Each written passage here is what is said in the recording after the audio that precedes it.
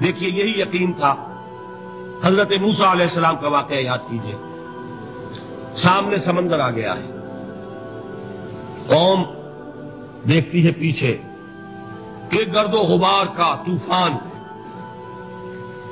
मालूम हुआ कि फिरौन अपने लश्कर समेत आ गया। लश्कर जब चलता था तेज रफ्तारी के साथ तो गर्दो गुबार का जो तूफ़ान उठता था, उसका तस्वुर कीजिए। और लम्हा ब लम्हा वो करीब आ रहा है। पूरी कौम ने क्या कहा? ए मूसा, इन्ना मुदरकून। ए मूसा, हमको पकड़े गए। कुरान मजीद ने तो यहाँ वो बातें नहीं लिखी हैं। लेकिन तौरात में ये दर्ज है कि बनी इसराइल झगड़ने लगे, दस्तों गरीबान हो गए मूसा के साथ। मूसा में यहाँ पर माया लाकर, इससे तो हम वही बेहतर थे। वहाँ खाने को मिलता था, ज़िंदगी तो थी। बेगार हम कर रहे थे, मौत तो नहीं थी। अब जो कुछ होगा, उसका तस्वूर करो। जिस तरीके से हमारे टुकड़े उड़ाए जाएँगे। तो लड़ रहे हैं हज़रत मूसा से। ये तौरात की तफसील है।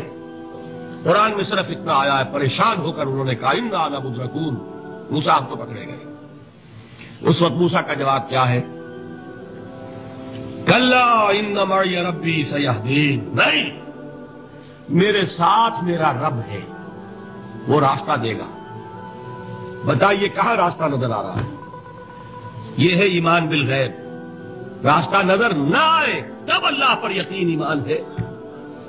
जेब में पैसे हो, तब दिल को इत्मीनान है। तो ईमान किस पर हुआ? पैसे पर, अल्लाह पर नहीं।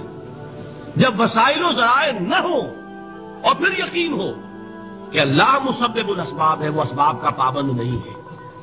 वो असबाब का मोहताज नहीं है, असबाब उसके मोहताज है। अगर ये यकीन है तो अल्लाह पर ईमान है। ये नहीं है तो तुम्हारा ईमान असबाब पर है, वसाइल पर है, जराए पर है मादियात पर है, अल्लाह पर नहीं उस वक्त कहा रास्ता था? तो रास्ता था समंदर है और उधर से लश्कर आ गया है। कल्ला इन मारिया रब्बी सयाहदीन। अब देखिए, ईमान कह देना आसान है। हुआ माँ तुम है न तुम जहाँ कहीं भी तुम होते हो, अल्लाह तुम्हारे साथ होता है। लेकिन इसका यकीन कायम हो जाए तो ज़मीन व आसमान को फ़र्क वाकई